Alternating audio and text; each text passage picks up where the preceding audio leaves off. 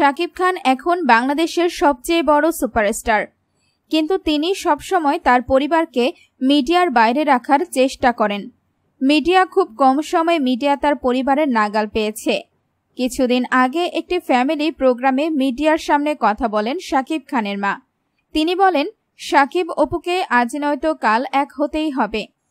কিছুদিন আগে একটা প্রোগ্রামে অপু বিশ্বাস বলেন, আপাতত তিনি আর বিয়ের কথা ভাবছেন না। এবং এখন শুধুমাত্র সন্তান আর ক্যারিয়ার নিয়ে ভাববেন। শাকিব খানকে নিয়ে তিনি বলেন, জীবন যখন আছে, তখন জীবনে নানা রকম অভিজ্ঞতা তো থাকবেই। ভালো খারাপ সব নিয়েই একটা মানুষের জীবন। এখন আমি নিজেকে গুছিয়ে নিয়েছি। আবার অভিনয়ে নিয়মিত হয়েছি, আর পেছনে তাকাতেই চাই না। এবার সামনে যেতে হবে। এই প্রসঙ্গে শাকিব খানের মা বলেন, সবাই এখন ক্যারিয়ার ফোকাসড। আর সব সংসারেই সমস্যা হয়। ওদেরও হয়েছিল। কিন্তু সাকিব আর অপু এখনও তাদের নিজেদের প্রতি রেসপেক্ট ধরে রেখেছেন।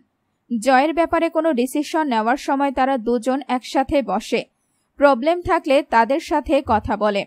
ওরা বেশ ডিফারেন্ট এখন আমার বয়স হয়েছে। আমি সাকিবকে এখন সংসারী দেখতে চাই। নাতি আর বৌমাকে নিয়ে ও সংসারী হয়েছে। এটা দেখতে চায়। আমার ছেলের বউ অপু। আব্রাহাম খান জয়ের জন্য সাকিবকে আজ নয়তো কাল আবার এক হতেই হবে।